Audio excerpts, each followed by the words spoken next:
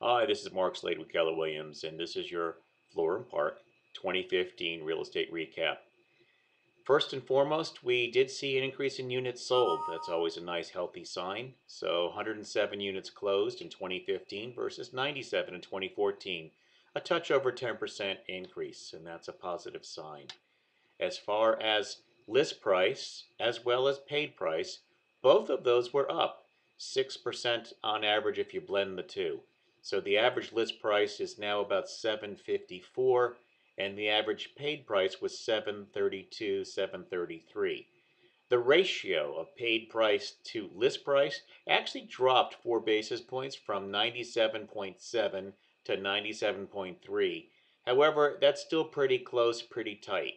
Um, and when we look at days on market we saw a tiny increase from 58.2 to 59.6. That's a, technically a 2.4% increase in days on market. We like to see that going down, but overall, I'd have to say it was a very healthy year in real estate for Florham Park.